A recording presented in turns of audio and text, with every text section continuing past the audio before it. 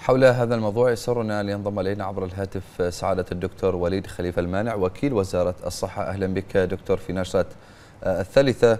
إذا تابعنا هذا التقرير حول مشروع الجينوم.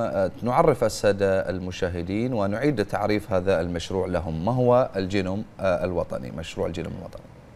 أول شيء مساكم الله بالخير ومبارك عليكم هذه الأيام الفاضلة. طبعا مشروع الجينوم الوطني أولا جاء تنفيذا لتوجيهات صاحب السمو الملك الأمير سلمان بن حمد الخليفة.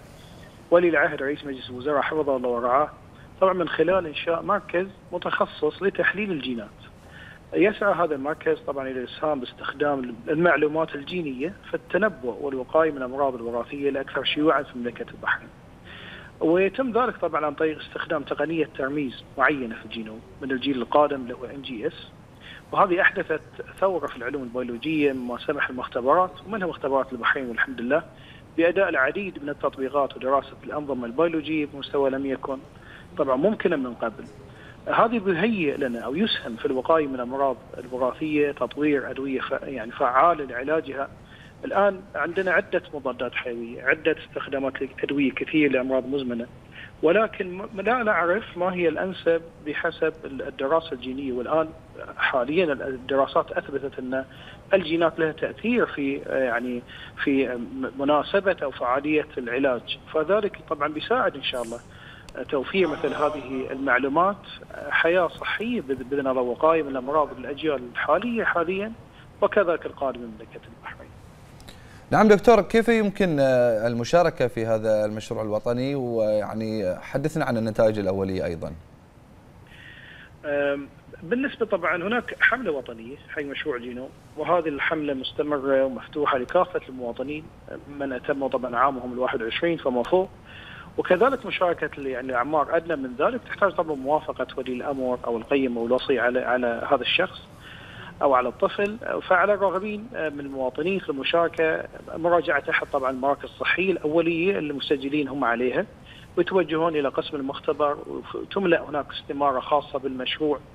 في هناك معلومات تقدم لهم بالكامل بالنسبة حق المشاركة ويعطونهم المعلومات اللازمه تؤخذ منهم كذلك المعلومات بالنسبة للتاريخ المرضي أو المشاركة الطبي. وأخذ عينة من الدم تحفظ هذه العينة وتخزن بطريقة آمنة وسرية في البنك الحيوي مختبرات الصحة العامة. وممكن طبعا يعني استكمال الإجراءات اللازمة في أغلب الحالات في يوم للعلم في يوم واحد ما تحتاج أكثر من زيارة فقط زيارة واحدة تكفي لهذه المعلومات. والحملة وفرت كذلك يعني مكان لبعض المعلومات اللي يحتاجونها. وهي في عندنا إنستغرام طبعا خاص بمركز الجينوم اللي هو @بحرين دوت جينوم والموقع الالكتروني ممكن يحصلون على وزارة الصحة كذلك في هناك رقم للتواصل.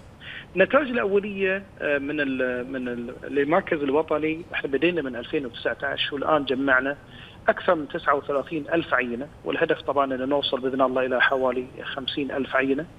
هذه التقارير الطبية الأولية والتشخيصية للدفعة الأولية أعطتنا معلومات كثير وكبيرة وقد إن شاء الله تكون يعني في صالح المجتمع البحريني والشعب البحريني بحيث أن توفر فعلا جودة الحياة الصحية بحيث أن تكون في هنا قاعدة رئيسية للوقايه من الامراض المزمنة والقايه من الأمراض الوراثية وكذلك إن شاء الله نوفر العلاجات بما يتناسب مع نعم. يعني حاجة الناس.